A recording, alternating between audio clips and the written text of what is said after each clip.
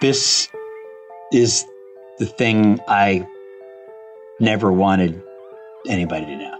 And I remember thinking it to myself, dead man walking. You know, like I'm walking out to the mic, like I can't back out. I could back out now, but it would be bad. But then when it was done, it was just like, it was like a milestone. It was like a personal milestone. It's the TMI Project Podcast, a series of stories about the too much information parts of ourselves we usually leave out because we're too ashamed or embarrassed. I'm your host, Eva Tenuto. This is Season 3 Stories for Choice. Before we get started, just want to let you know that as the TMI implies, some content might be too much information for some listeners. And remember, your support keeps our content free and accessible to everyone who wants to listen. So if you like what you hear and you're able to chip in, you can do so at tmiproject.org, where you'll also find some really great merch. Either way, thank you. We are so glad you're listening. Let's dive right in.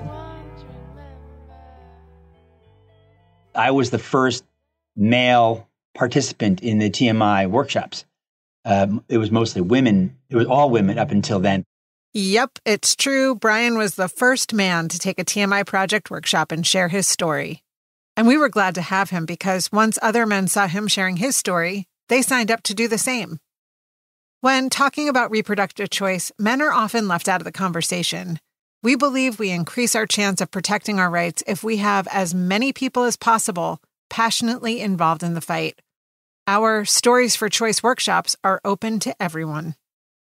Stick around after Brian's story to hear how facing his fear and sharing his truth paid off in spades.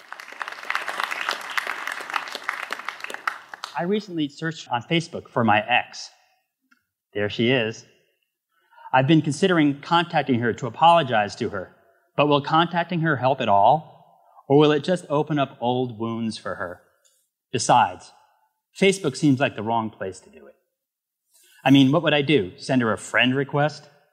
Then post on her wall, hey, sorry I asked you to marry me, then took it back. Sorry I was a coward and trashed our relationship. LOL. Over the years, I've contemplated sending her a letter of apology, but before I could write it, would dismiss the thought as pointless and maybe even cruel. It's not pleasant to know that someone out there in the world is still so angry and hurt by me after so long. It's hard to share this with you because I'm afraid your judgment will be even harsher than my own. I've been carrying a burden of guilt and shame for many years.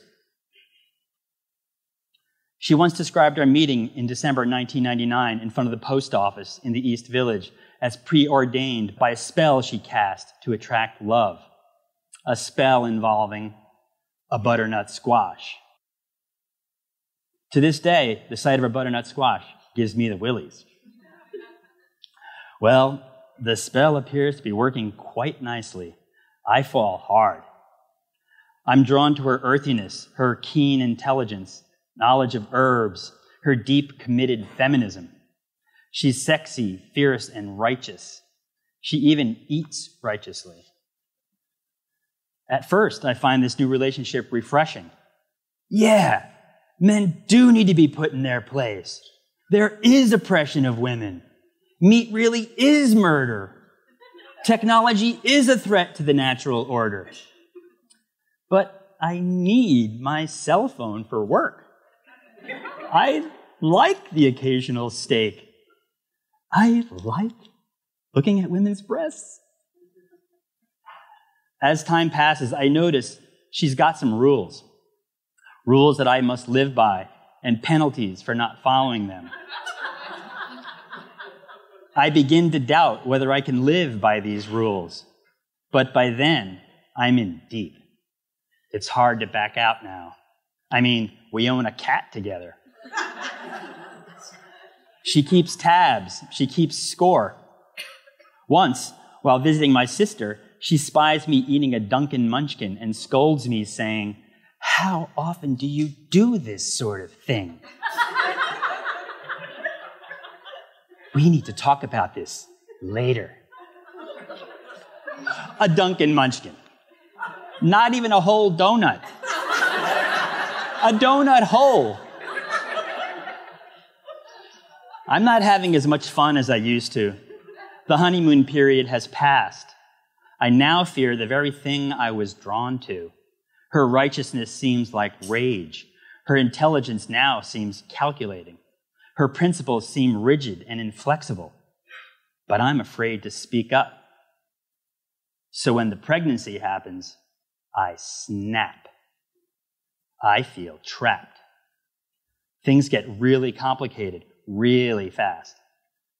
I cannot have a child with her.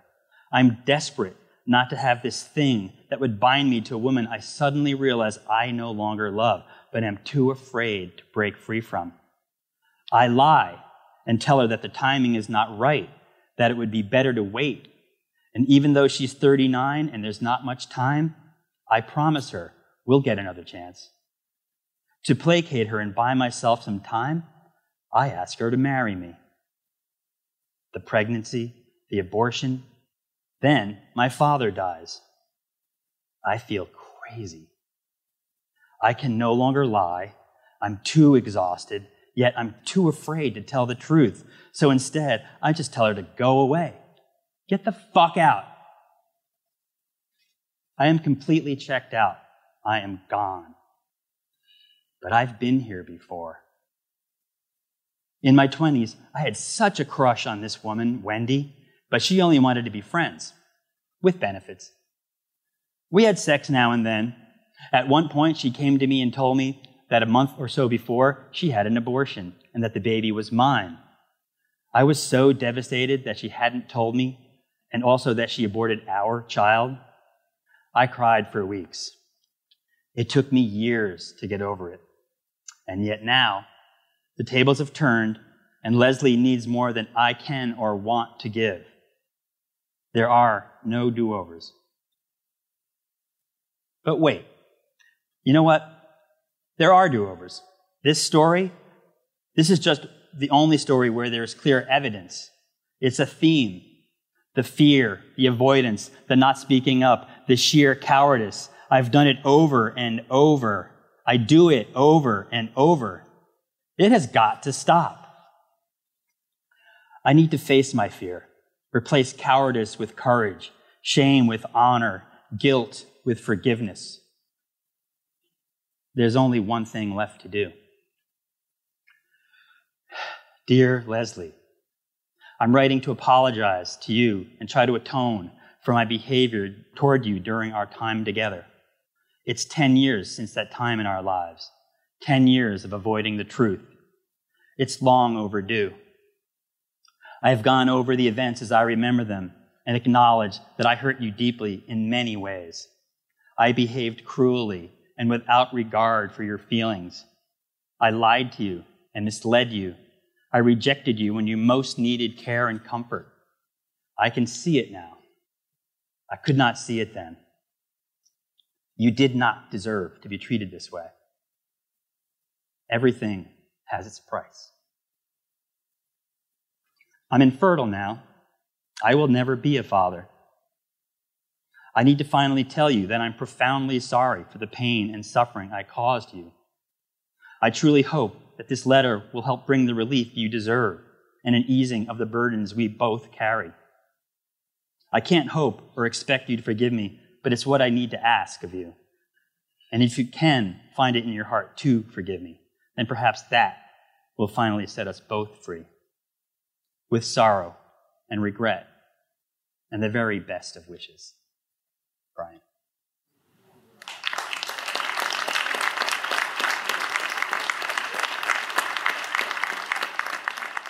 We caught up with Brian recently, and here's what he had to say.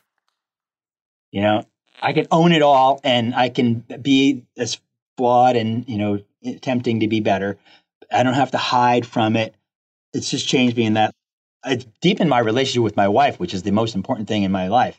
So for anything, if that, if, if nothing else positive happened, that's enough. A very special thanks to Brian for sharing his story. And I can't thank Brian without also mentioning the woman he is lucky enough to be married to, Sari Botton. Sari served as TMI Project's editorial director for the first seven years of the organization. Sari and I created the foundation of TMI Project's methodology together. We are so grateful for all of her dedication, time, and talent that helped us in our formative years, and also for her influence in getting her husband, the first man, to sign up for a workshop. Thanks, Sari.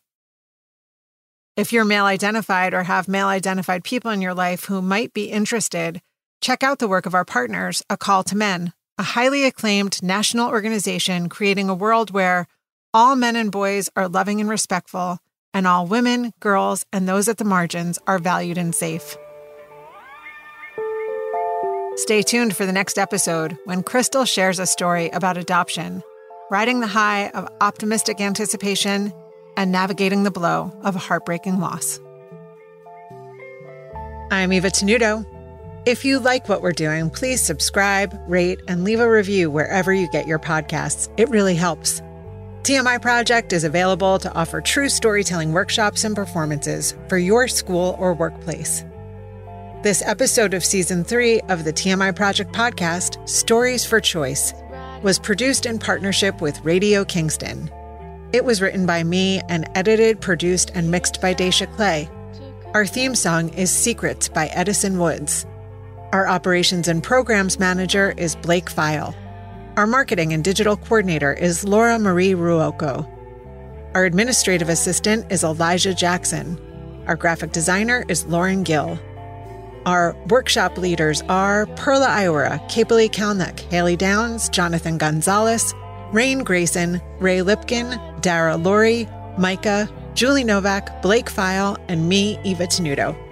To learn more, support our work, and find a special writing prompt so you can start telling your story, visit tmiproject.org slash podcast.